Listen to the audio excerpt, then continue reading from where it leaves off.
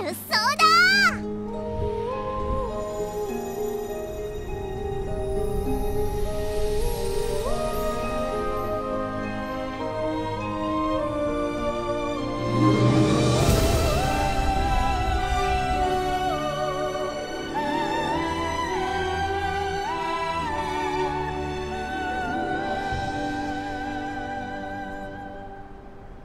車輪の先に映る最高の栄誉を目指して、今、馬娘たちがグランドマスターズダートに挑みます。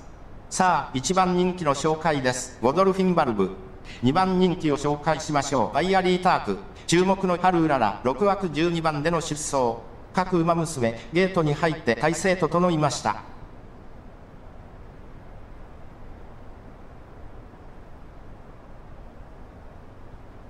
さあゲートが開いた。各馬娘揃って飛び出した。先行争いはゴドルフィンバルブメジロマックイーンタイキシャトル。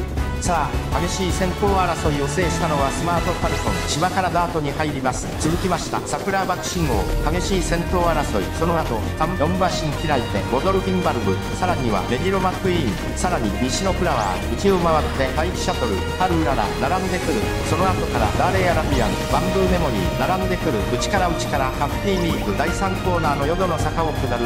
ここが正念場。少し後ろからキングケイロー。それを見るようにエイシンフラッシュ。そのうち並んでナリタブライアン。さらにはオグリキャップ。第4コーナーを進んで直線へ向かう。まだ先頭は動きません。このまま直線での争いになるのでしょうか。ハルウララ前を狙っているのか。さあ外から先頭を窺うのはゴドルフィンバルブ。残り400さあ誰が最初に仕掛けるのか。最終コーナーをカーブして最初に直線に入ったのはスマートファルコン。威嚇を通過。ハルウララ並んできた。ゴドルフィンバルブ。譲らないか。先頭ゴドルフィンバルブ。しかしその差はわずか。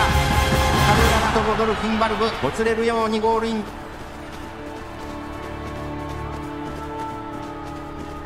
名勝負がここに決着。勝ったのはハルーララ今すべての馬娘の頂点に君臨だ。